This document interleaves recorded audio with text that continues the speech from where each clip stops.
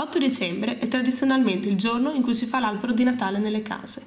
È una tradizione ancora in voga per le famiglie e cittadini ravennati? Sì. Rosso. Tradizionale. Rosso e bianco.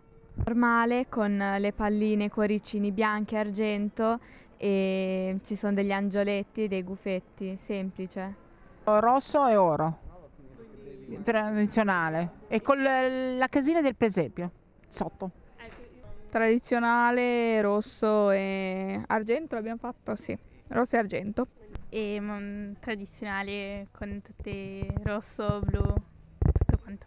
Sicuramente lo, fa, lo, sta facendo mio marito in questo momento, però tradizionale come sempre, classico, lucine, palle di tutti i colori, normali, in vetro, eh, disegnate, lavorate, stilizzate, insomma, tranquillo, un albero tranquillissimo. Non l'ho fatto, però lo farò perché me l'ha regalato un'amica e, e diciamo è moderno. Poche decorazioni, ecologico, non mi piace gli alberi veri che secondo me sono un ammazzare eh, il nostro ambiente, quindi mi piacciono le cose ecologiche. No, l'albero lo ritengo del tutto inutile.